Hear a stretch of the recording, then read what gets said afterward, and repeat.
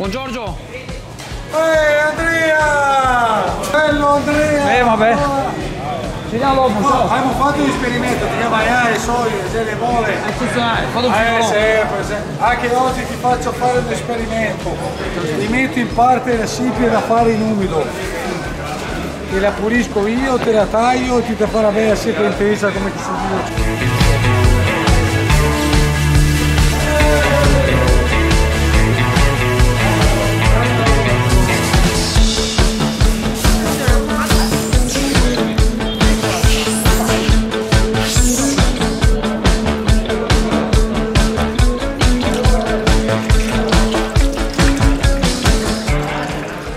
io. Anche un testata la. Infatti, a distanza di sicurezza.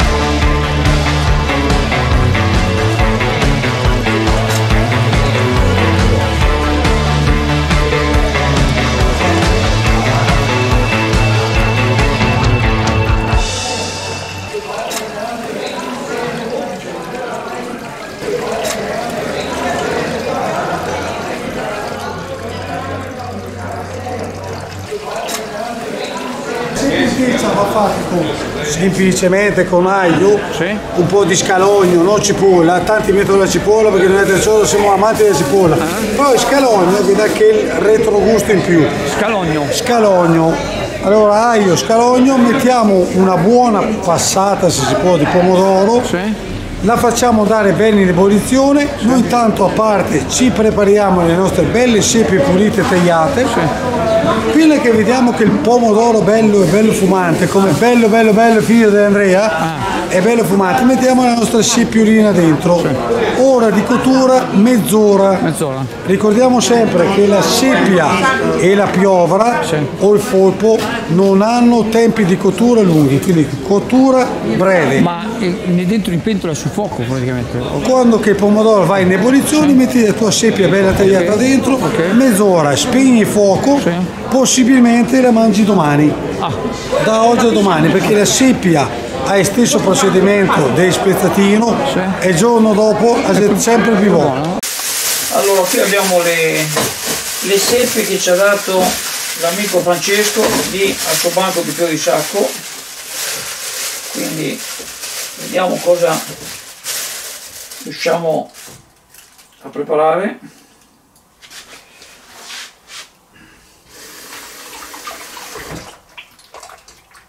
Ovviamente non ho la pretesa di fare il bravo cuoco, dopo mi darete voi le vostre dritte.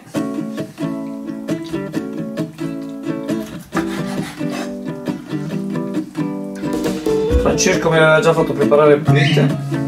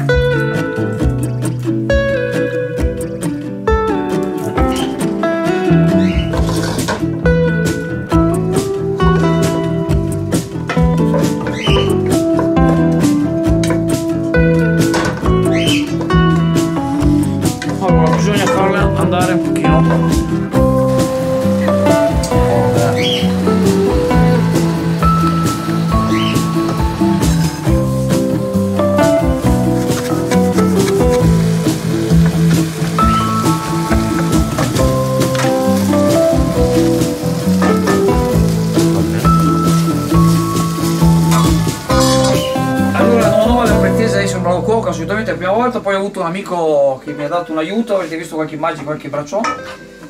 E, e praticamente è un giorno e da ieri l'ho fatto tutto ieri sera e questo è l'impiattamento e adesso ce la sbaffiamo e se ce la mette io l'ho già assaggiata vi assicuro che è buonissima e quindi grazie dei consigli grazie all'amico Francesco Teozzolia che è la pescheria appunto a più di sacco e veramente tutto veramente io l'ho già assaggiata è ottima vi assicuro